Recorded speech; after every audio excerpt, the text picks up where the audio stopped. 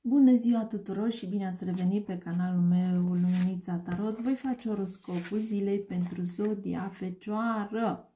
Wow! Zodia Fecioară aici văd două femei. O văd o regină de bețe și o regină de cupe.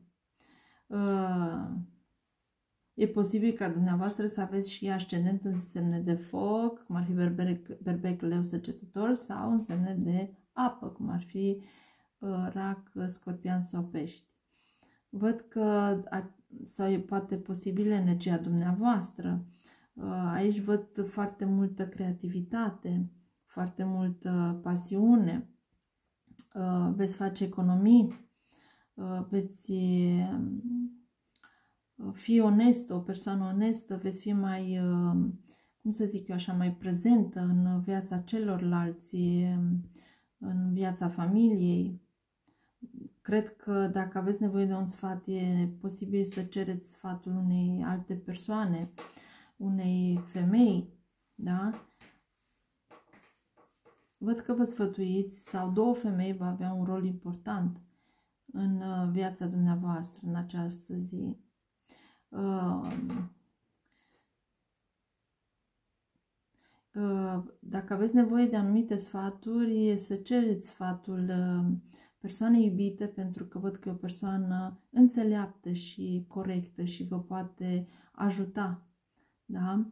Și văd că vă ocupați de anumite proiecte în ce privește trecutul dumneavoastră, vă veți informa în ce privește acest proiect.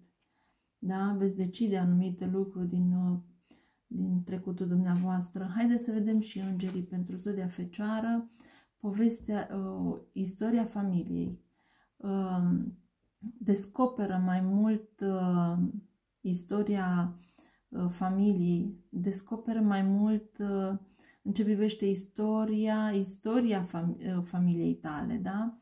Uh, astăzi veți, vă veți ocupa mai mult de în ce privește familia dumneavoastră. Cred că veți vorbi cu o persoană în semn de apă, rac, scorpion sau pești, ce privește familia dumneavoastră, veți intra în contact cu această persoană uh, și veți dezgropa, să spunem așa, trecutul uh, și veți afla mai multe uh, povești în ce privește familia dumneavoastră. Foarte frumos. Zice că e nevoie ca tu să descoperi mai mult în ce privește istoria familiei tale. Deci e nevoie ca să săpați, uh, să intrați în contact cu anumite mătuși sau uh, verișoare și să vorbiți de familie. Acestea au fost spuse, vă mulțumesc că m-ați urmărit și eu vă aștept data viitoare. Vă doresc o zi cât mai plăcută. La revedere!